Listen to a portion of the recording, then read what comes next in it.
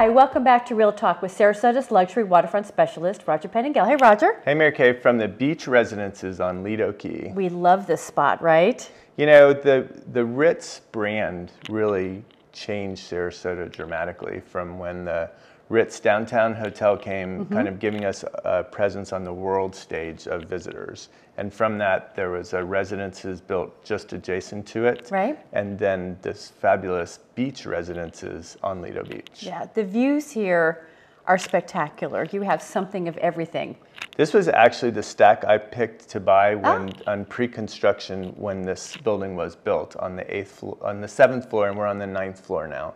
And what's fantastic about it is you get this huge Bay City downtown view, Beautiful. and then an angled Gulf view. Mm-hmm. And really, this whole building is about the beach and the Ritz lifestyle. So you're just adjacent to the beach club with a wonderful restaurant, the whole pool facility. It's a resort area. There's a beach bar. So it's kind of all about the vibe of living at the Ritz at the beach. And it's a lot of space with the terraces over 3,600 square feet. Yeah, you got 3,000 interior square feet, mm -hmm. two bedrooms and a den that could be a part, you know, sometimes bedroom if you wanted. Absolutely. Open floor plan highly, highly amenitized building serviced by the ladies and gentlemen of the Ritz right. Carlton. So it's managed by the Ritz, which is right. going to just make it A plus. It's got a theater, billiard room, uh, kind of really cool gathering social room where people tend to go and have coffee in the morning. Right. This is a really nice one. Yeah.